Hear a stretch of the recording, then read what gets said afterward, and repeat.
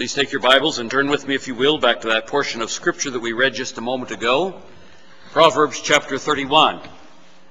It's a magnificent passage describing not merely a godly woman, but as you can see from the end of that passage where it says her children rise up, it's the godly mother. And I think so it's quite appropriate for us to be looking at this particular passage on this Mother's Day. I want to start off, first of all, by talking a little bit about Mother's Day and war. Today I want to give you some thoughts from Scripture on mothers and the spiritual battle that we are facing today. In fact, the battlefield is intensifying and biblical motherhood is under attack like it's never been under attack before.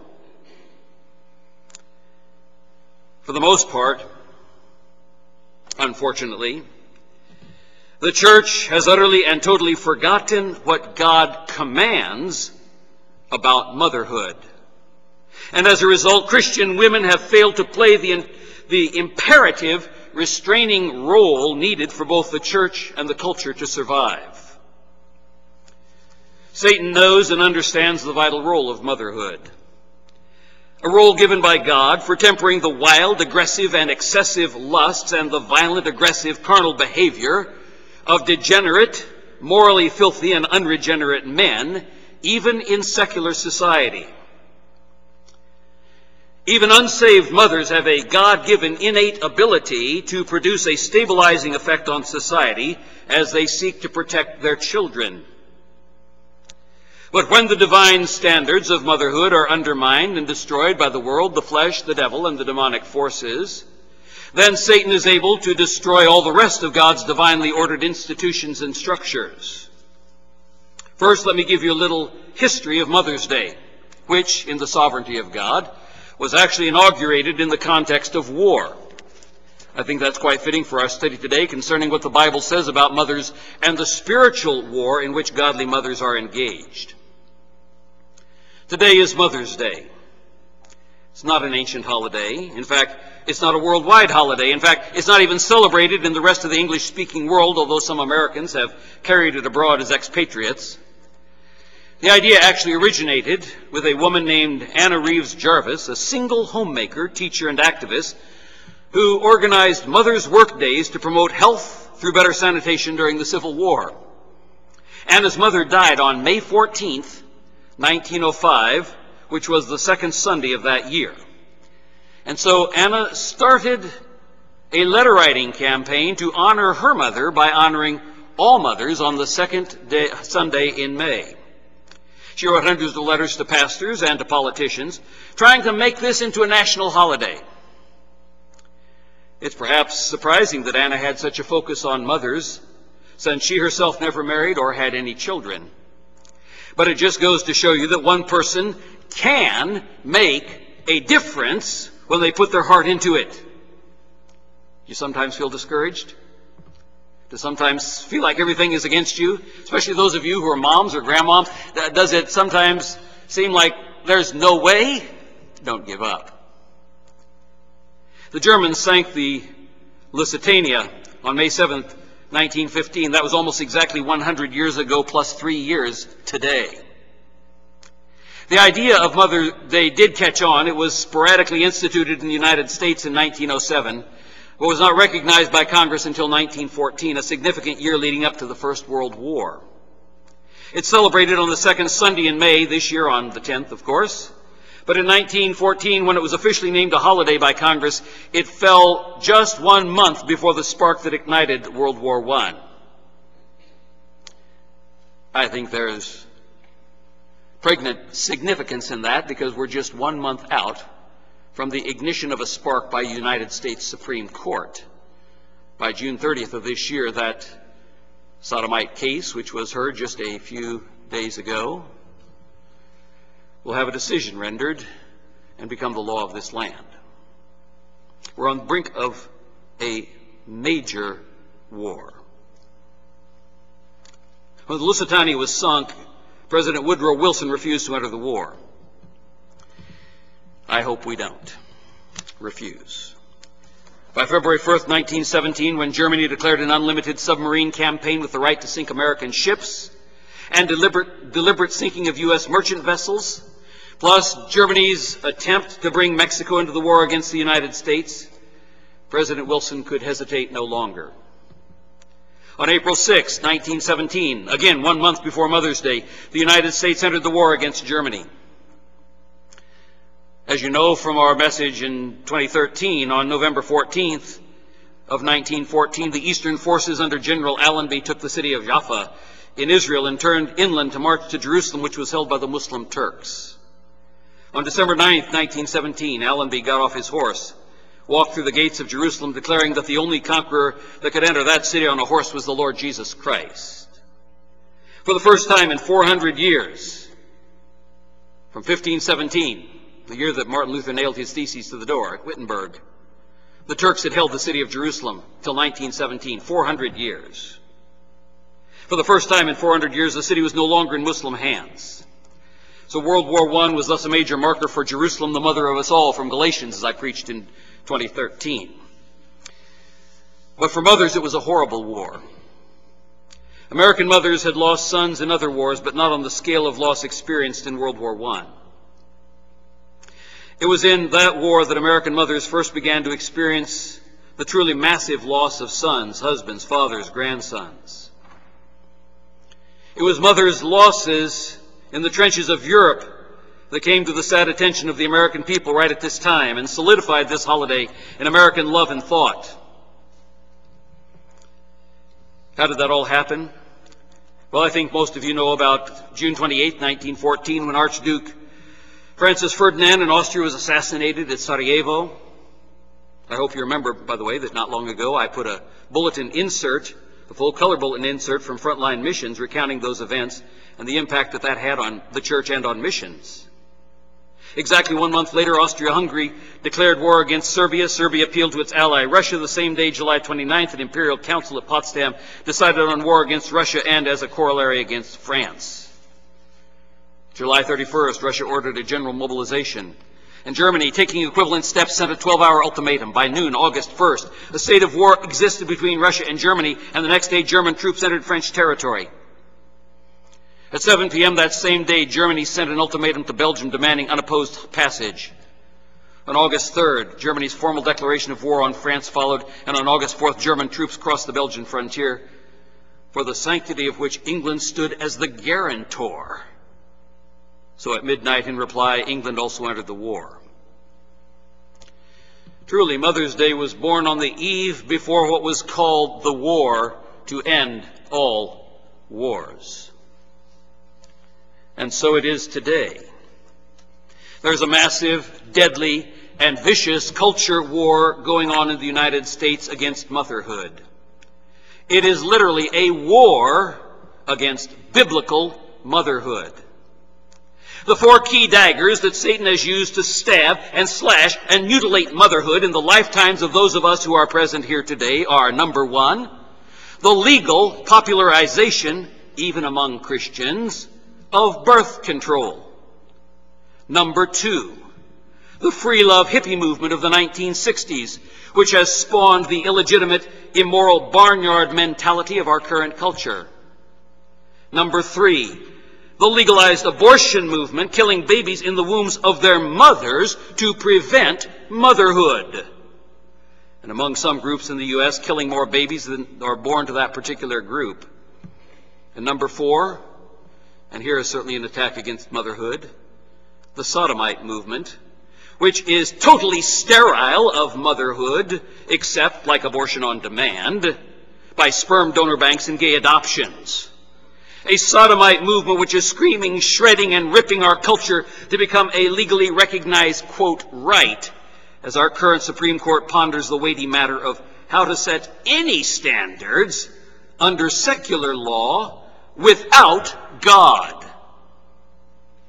Folks, as with all four of these perversions, birth control, free love, abortion, sodomite unions, just being legal doesn't make it right or morally approved.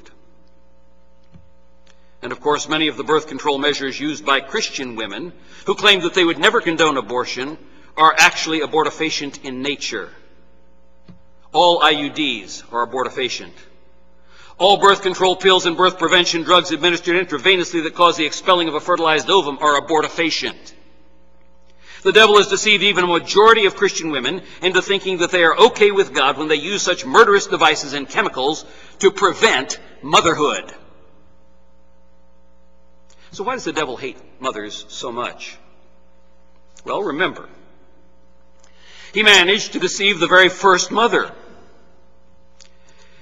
He used the very first mother to drag the human race into sin. He used the beauty, innocence, and lure of the very first mother to tempt the very first father to disobey God. He thought that he had beaten the human race through mothers. But God gave him a gut wrenching, bone jerking, hair electrifying, diaper wetting shock. God made a promise in grace to that very first mother as he cursed Satan. Genesis 3 14 and 15. And the Lord God said unto the serpent, Because thou hast done this, thou art cursed above all cattle, and above every beast of the field. Upon thy belly shalt thou go, and dust shalt thou eat all the days of thy life. And verse 15, And I will put enmity between thee and the woman, and between thy seed and her seed. It shall bruise thy head, and thou shalt bruise his heel. Verse 15 is called the Proto-Evangelium, the first statement of the gospel in Scripture. The good news of a coming Savior. It would be the seed of the woman that would crush the head of the serpent. It would be through motherhood that the Savior would enter the world. The first time he wouldn't come as a conqueror, but he would come as a baby, born to a very young Jewish mother. It would be a mother that would bear a son to crush the nasty head of the dirt biting, dust eating, death loving devil. Jesus would be born to a virgin mother, untainted by a sin nature. God in the flesh, so that the seed of the woman would be both truly human and truly God, one person with two natures. That would be the one who would grind the devil's head to mush. And so Satan has always hated mothers and has done everything that he can to destroy them, deceive them, delude them, delay them from becoming mothers, defame them, denigrate them, discourage them, debilitate them, disenfranchise them, dirty them, delete them, defile them, deaden them, demonize them, decimate them, and today through ISIS, decapitate them. But the Word of God honors mothers. Remember the passage that we read just a few moments ago from Proverbs 31? The things that God honors are the things that the devil hates. A godly mother is the exact antithesis of Satan's plan to control the human race. Godly mothers stop the insane plunge of men into the abyss of degenerate hedonism. Godly mothers protect, shield, and train the next generation of God's warriors. And look at all the areas outlined in Proverbs 31 that a godly woman, a godly mother can influence within the sphere of the home. The home is the central command post in this key spiritual war. Look at all the areas of work and activity that a mother can do from the home. We know from verse 28 that the godly woman of Proverbs 31 is a mother. She's not a single woman or a married woman practicing birth control, and certainly not a woman with an outside job working for other men who are her boss. She's only working for her husband. She deals with those others as independent businesswoman would do, but she's not under their authority. She's only under the authority of her husband. Look at the multitude of assorted hat changing areas in which we find a mother involved in Proverbs 31. Agriculture, wise real estate investment, manufacturing, banking, business, artistry, interior design, conservation management and oversight, science, education, international venture, culinary arts, investment, social work, interpersonal relationships, Bible knowledge and theology, and public recognition. In other proverb passages that I was hoping to touch on today, but I don't think it's possible, usually I have about 10 pages of notes. Today I have 17. So I think we'll have to save probably about half of this for some other Mother's Day, but at least I hope we get through Proverbs 31. But there are many other passages in Proverbs, if we had time to look at them, that also touch on additional things, where she's seen as a lawgiver, a standard setter, an emotional burdens bearer, a gracious peacemaker, and many, many other things. But first, we look at Proverbs 31. Look at the words that are used to describe the personal character of a mother that God praises. Number one, top and front on the list. Virtue. Who can find a virtuous woman? Virtue is excellence in moral righteousness. That means courageous, uncompromising excellence in moral righteousness, true, unashamed holiness and moral purity, a godly, unwavering focus on things of eternal value. That's virtue. That's the very first quality for which she is commended. If you want to be a godly mother, that should also be your first point of focus. Virtue.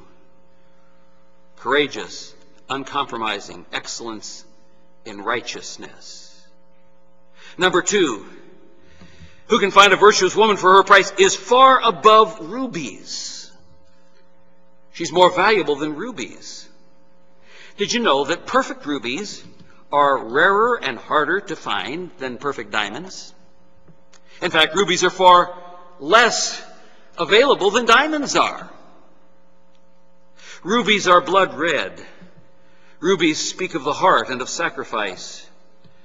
Rubies speak of energy and fire and vitality, and she is far above rubies. The third thing we discover is that she's trustworthy. It says the heart of her husband does safely trust in her. Interesting how the husband appears at different places through this text as we read through it. Because this woman is surrounding her husband with the things that make him great. A lot of men think they did it on their own. no. Behind most successful men, there's a woman who has made him great. Remember that, folks. All of us men who think we're so cool. The heart of her husband does safely trust in her. She's faithful. She's dependable. She's reliable. She can always be counted on. She doesn't make petty excuses or try to get out of her responsibilities by pretending to be sick or pretending to be busy or pretending some other foolish thing that she's unable to do it. In other words, she's not an irresponsible flake. You can count on this woman. You can trust her to follow through. You can know for sure that she will do what she says she will do. She doesn't back out of things at the last minute. The heart of her husband doth safely trust in her. She's trustworthy.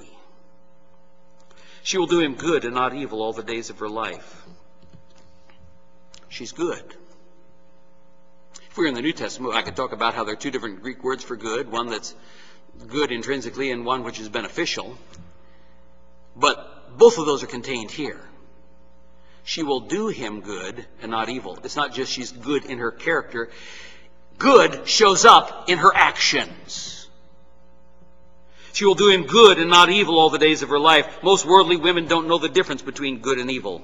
But this woman does her husband good and not evil. She's not petty and childish. She's not spiteful. Many women are to their husbands. She doesn't drag her feet or try to manipulate him. She doesn't stubbornly resist his leadership. She's not recalcitrant or disobedient. She's not sneaky behind his back to try to get her own way. She doesn't undercut him when talking to her friends. Oh, I know of a young woman who is, when she's talking to her friends, if her husband walks up at that moment, I've seen this thing happen. Husband walks up, she ignores her husband because she's busy with her friends. Until finally one of her friends says to her, uh, by the way, your husband is here. Oh, so good to see you. This fake nonsense. She doesn't undercut him when she's talking to her friends. She's not selfish, promoting her own pleasure, the accumulation of her own stuff and goals to his detriment. She sacrifices, and this is important, folks, she sacrifices her personal will. She does him good and not evil. She dies to self to fulfill his goals. She does him good and not evil. We don't like to hear that in our modern culture with our modern women. But that's what the godly woman, the godly mother of Proverbs 31 is like. And you know, it's not just periodically. Very next phrase tells us that.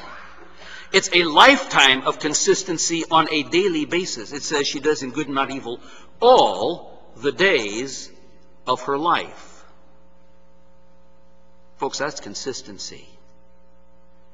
That's day after day, week after week, month after month, year after year, decade after decade.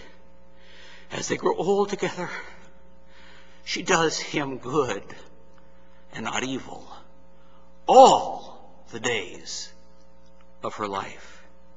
It's not just when she feels like it. It's habitual, the day by day grinding it out. But you know, for this kind of a woman, it's not a grind. It's a joy because she does it out of her love for her husband. A woman who loves her husband doesn't mind serving and helping him reach the goals that God has put into his heart. And so she has a lifetime of daily consistency. She does him good and not evil all the days of her life. She's still doing him good right up to the day of her death when she steps into the courts of glory. Folks, like rubies, that's a hard woman to find. But I found one when I found Judy. She did me good and not evil all the days of her life, right up to the moment that she stepped into glory one year ago. When I read this passage, that's the woman who comes to my mind. Note also here, she's proactive in seeking that which is valuable and diversified based on careful pre-planning. Let me explain. She doesn't seek trivia or inferior things. She seeketh wool and flax. Wool is what is used to make winter clothing. Flax is used to make linen for summer clothing. She's not stuck in a rut. She's wisely planning ahead. She's not putting things off until the last moment. Notice also she's a willing worker. She worketh willingly. In other words, she doesn't resent having to work hard. Even at manual labor, it says she worketh willingly with her hands. She's not lazy. She's not slothful. She's not careless and sloppy. She doesn't have the attitude, ah, it's good enough for government work.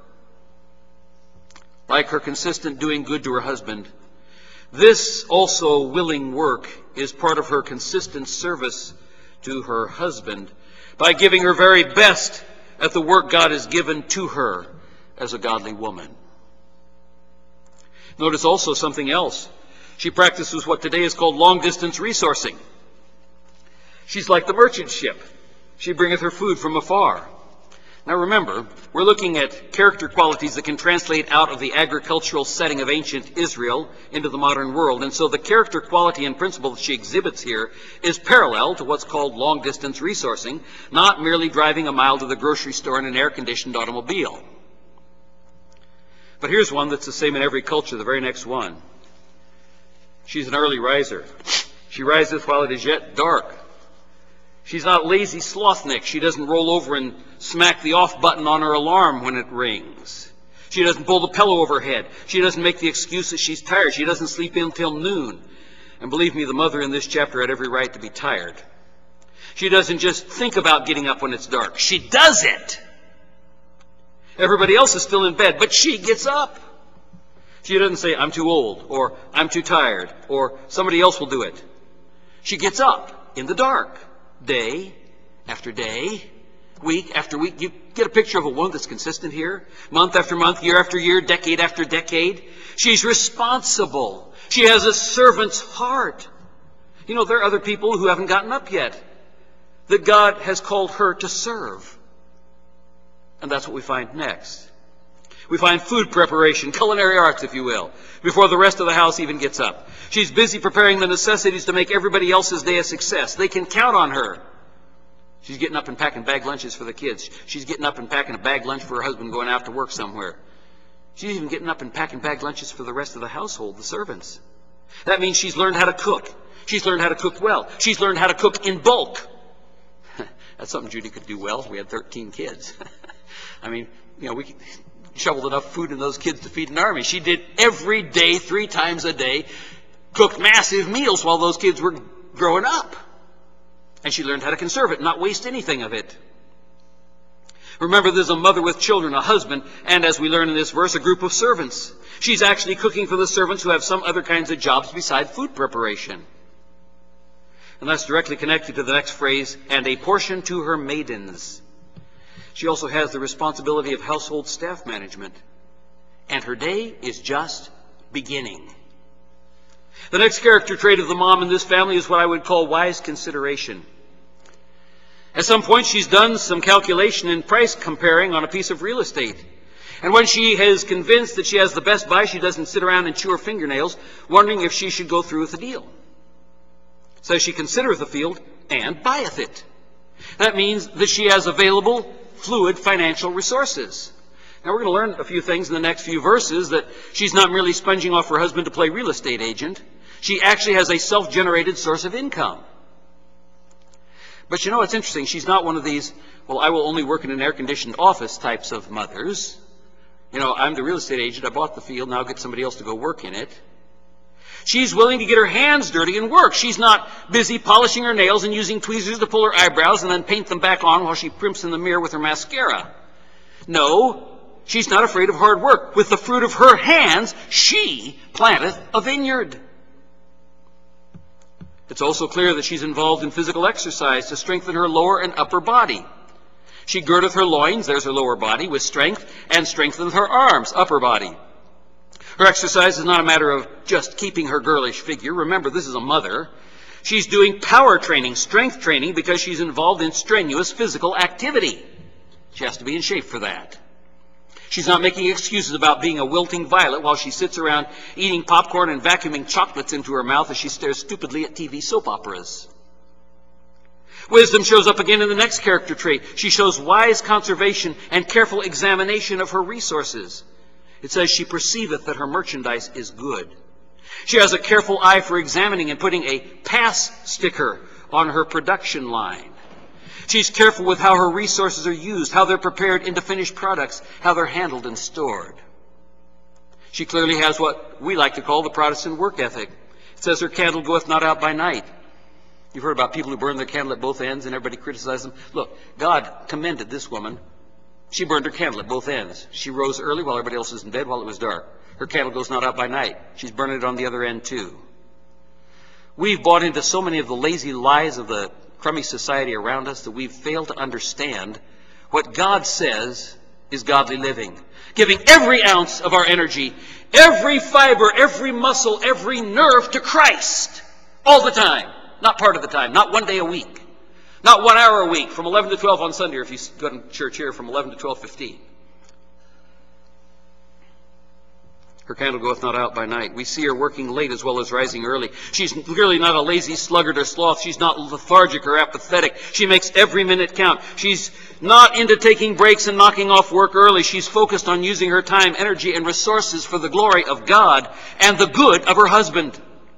She's clearly a woman who's trying to maximize her potential so that she can give the best possible accounting at the end of the day. And that gives us the next parallel character trait she exercises perpetual diligence in the specific skills that she's developed. And notice, this is not natural talent. It is a developed talent that took many years of training, probably from her own mother, and a lot of patient, very careful work. Look at the next skill. She has the ability to weave as well as to sew. She's making her own cloth as well as her own clothing. Ladies, if you had, if you couldn't go down to Walmart or wherever you happen to shop, uh, I shop at the thrift stores, but if you if you couldn't go down and buy already made clothing, well, some of you might be able to sew a dress. I hope you can. Judy made all of our kids' clothes as they were growing up. But you know, this woman made the cloth from which she made her clothing. a little beyond most of us, isn't it? I think so. Would you enjoy it as much if you had to make your own cloth before you could sew it? Would you be a lot more careful with the cloth and not waste any of it if you had to make every square inch of it from scratch? This mother wove the cloth that she used to sew her family's clothing. That's a developed talent. She's also compassionate and has a generous heart. Look at this. Her generosity is not merely for family members. Her generosity extends to those in need outside her family.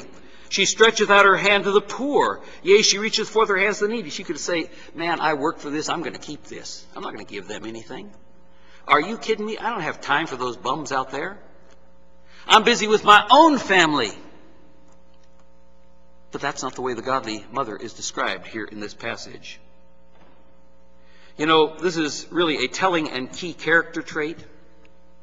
Just being hard-nosed and efficient isn't enough. Because there are lots of hard-nosed, efficient, no-nonsense businesswomen in the working world today who have the same kind of business acumen that the Proverbs 31 woman had. But you rarely find them with a compassionate and generous heart, involved in personally helping other people with desperate needs. They might throw a few bucks into the Salvation Army Christmas kettle, but don't ever expect them to become one of the bell ringers. Another key character trait is found in verse 21. It's introduced by the phrase, she is not afraid. If you just stop and think about those words for just a moment, those are really key words. Her life is controlled by courage, not fear.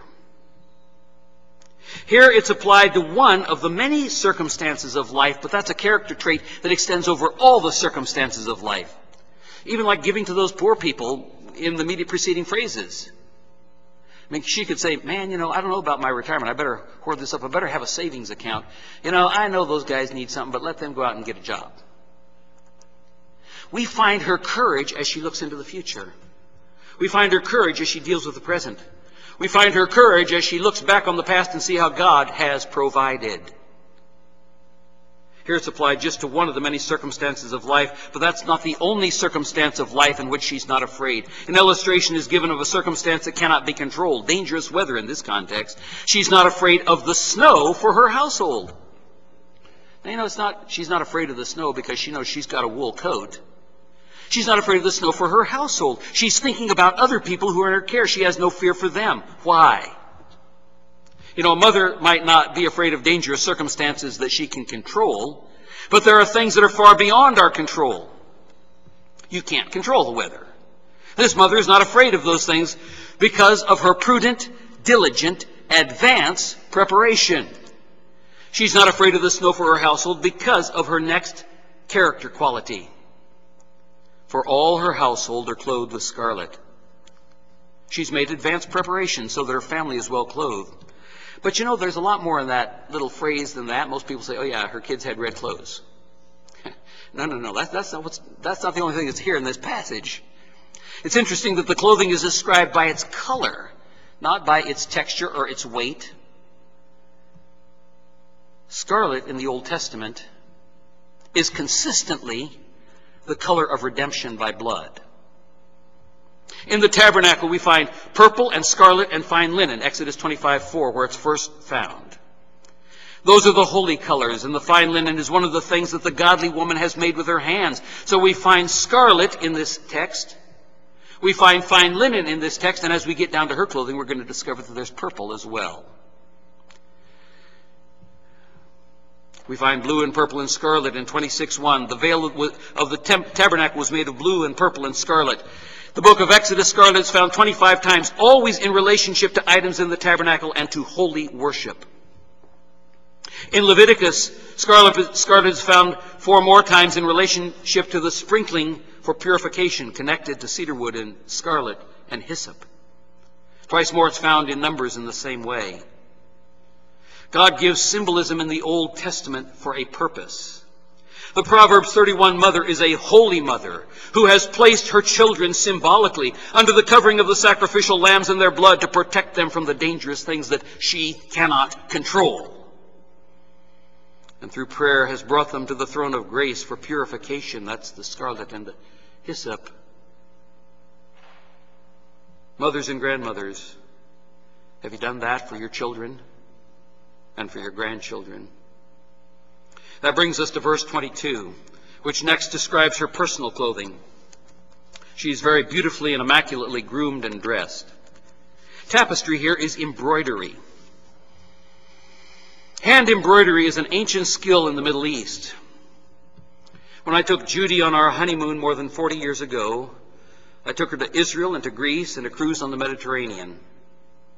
I purchased for her a beautiful blouse and several other items with exquisite hand embroidery. Judy loved to embroider as well. She's taught our daughters to do it. They can do all kinds of things crocheting, knitting, tatting, all that kind of stuff. In fact, some of them have actually won county fairs with the work that they've done. She taught them how to do that. The godly woman in Proverbs 31 is skilled in embroidery.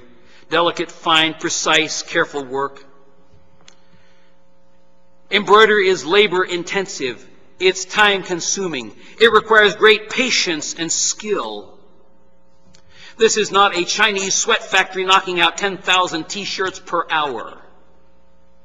This kind of work tells you something about the character of this woman.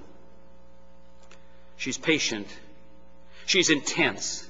She's diligent. She's careful. She's precise and always appropriate so that she will look her best for her husband and for his reputation.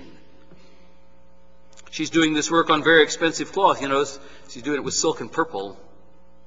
She then makes her own clothing from that silk and purple.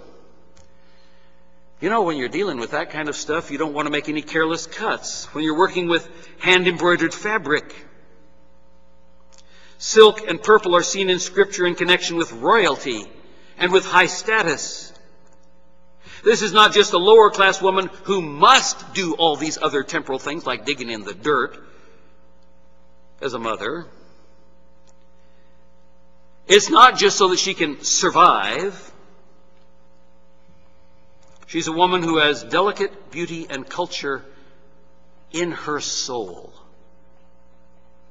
And even though she's personally hand making all of her clothing, remember that that was the woman who is a queen teaching a king in verse 1 of this chapter. King Lemuel, who is Solomon, the words that the prophecy that his mother taught him. What my son and what the son of my womb and what the son of my vows. The woman who's doing this stuff is a queen teaching a king. That's also the same woman that does the dirty work of field buying and vineyard planting in verse 16. In spite of her culture and gifts, she's humble. She doesn't expect anybody else to do her work. She's appropriate, gracious, well groomed, prepared for every occasion, whether with working men and women or with high society. She is truly flexible, humble, and non assuming woman. Her clothing tells you a lot about her inner being. I'd like to spend some time on that, but I won't. You know, it's not that clothes make the man, but clothes do tell you a lot about the person. For example, Proverbs also talks about the attire of an harlot. Clothes will tell other people something about you. The attire of a harlot, you can tell who's the prostitute out there on the streets of Las Vegas. No Christian woman should ever wear that kind of seductive, morally defective clothing. Now, here's an important one. She's a husband builder. She's a husband builder. Her character is one of the principal causes of her husband's honor, verse 23. Her husband is known in the gates when he sitteth among the elders of the land. He's not just in the gates or going through the gates. He sits among the elders of the land. That's a position of authority and prestige. And remember, this chapter is about the woman, the mother. He's not the one who gave her the status, although that will come with that position. But because of this woman, he is in that position. Because of this godly mother, his status is enhanced. Wives, it's your job to be husband builders, not women who bring shame to your husbands. The virtuous woman, remember that's the first quality character in this passage. The virtuous woman gives a crown to her husband. Listen to Proverbs 12:4. A virtuous woman is a crown to her husband, but she that maketh ashamed is as rottenness in his bones. The virtuous woman.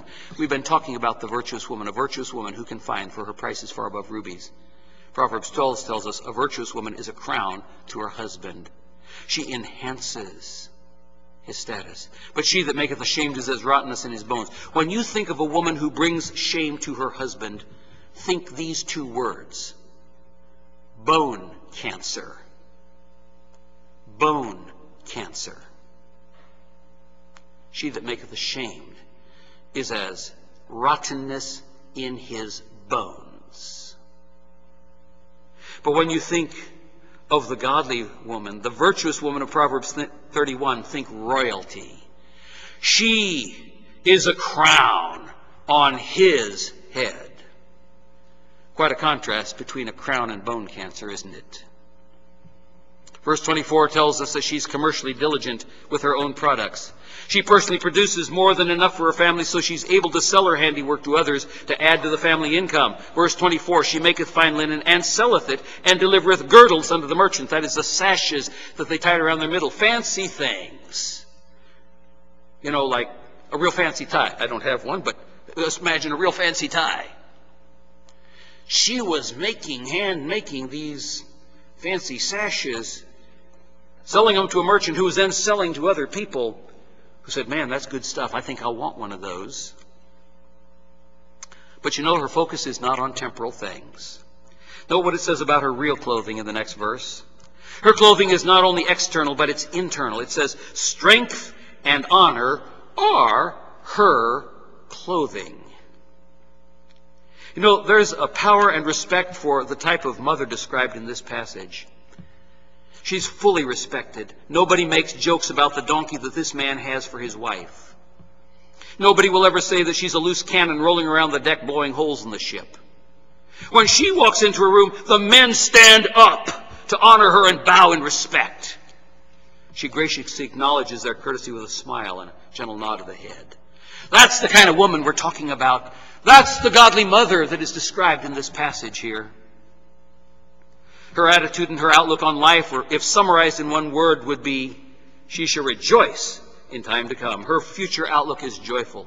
It's not grim. It's not bitter. It's not sullen. It's not despondent. It's not self centered. It's not complaining.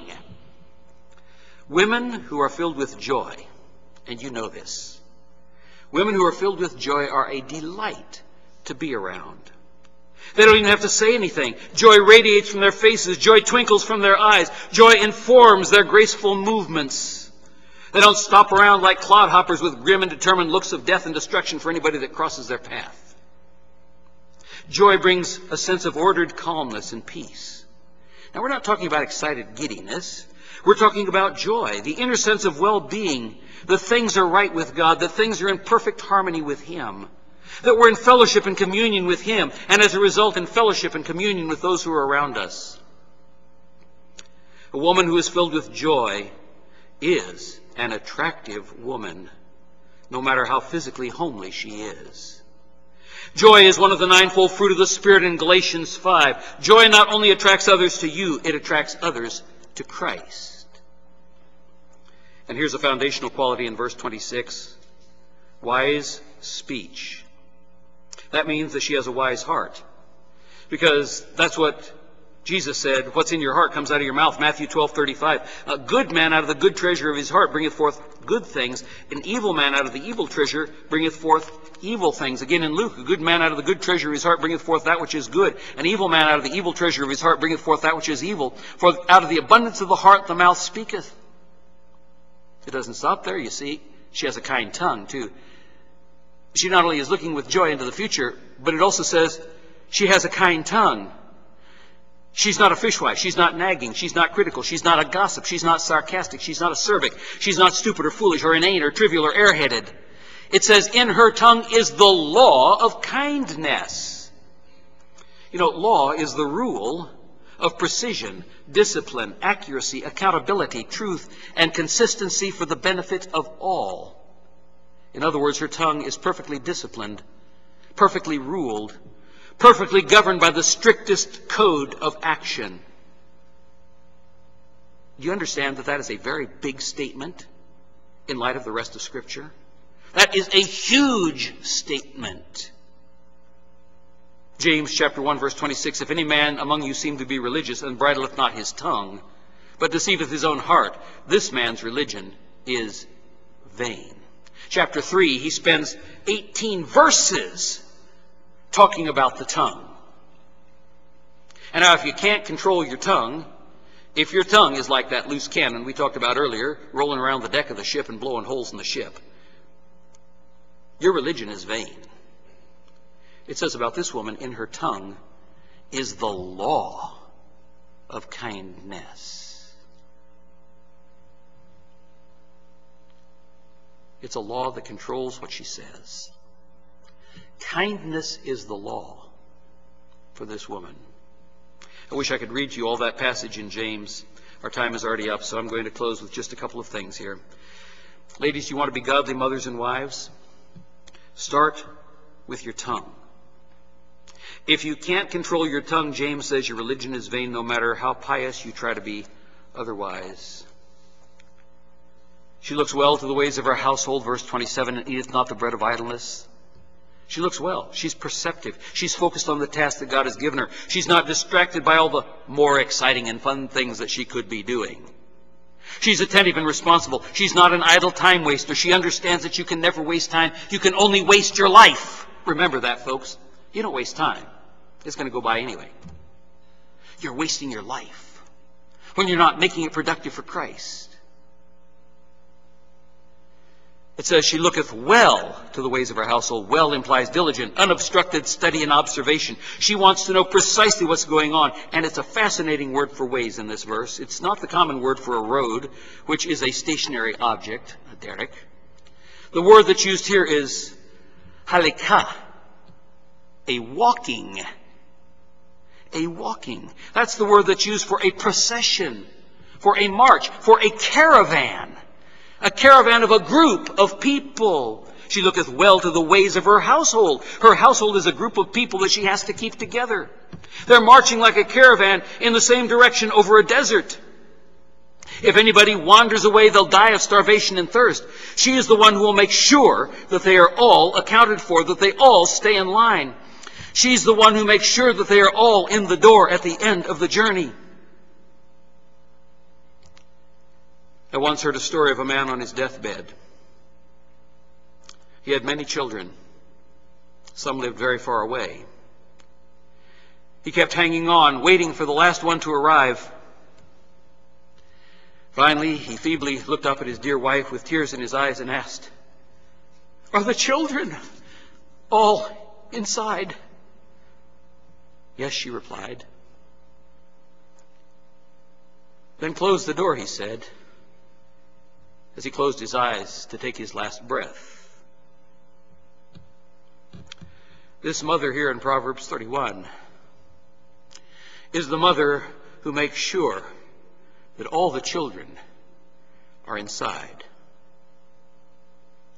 She wants to make sure that all of her children are saved that they're safe across the desert.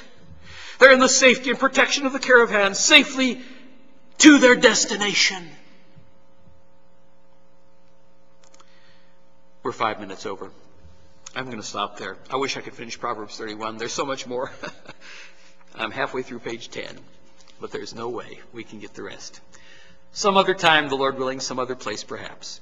Our gracious Heavenly Father, how we thank you for your word and how we thank you for godly mothers like this mother described for us in such precise detail, such beautiful detail, such powerful detail, such exquisite detail. As the woman whom you call a virtuous woman, a woman who excels with excellence in righteousness, a woman who is totally committed to the calling you've placed on her life, a woman who loves and honors and submits to her husband who's a husband builder, a woman of grace and yet of diligence and hard work, a woman who knows not only how to control her time and energies and produce things, but who has the law of kindness in her tongue, a truly gracious woman. Father, we thank you for the mothers, the grandmothers, even some of us can remember our great grandmothers and the godly example that they set for us. Those of us who are men can remember our mothers and our wives if we've been married, and how you worked in them to knock off rough edges in our lives. That you use them to help us be more perfectly conformed to the image of Christ. Father, we thank you for giving us mothers. And we beg you on behalf of the mothers in this country, especially those who are Christian mothers, but as they are raising the next generation of warriors to fight the good fight of faith, that you'll give them wisdom and strength and courage and resources and diligence. That you'll give them husbands who love them and provide for them and protect them and protect their children. Father, we're involved in a war, the long war against God, we're the soldiers you've called to battle. How we thank you for headquarters where there's been training taking place with godly mothers quietly, graciously, unassumingly teaching and training the children that they might step into the shoes of the warriors that fall in battle. Bless them, Father, this day. We pray in Jesus' name. Amen.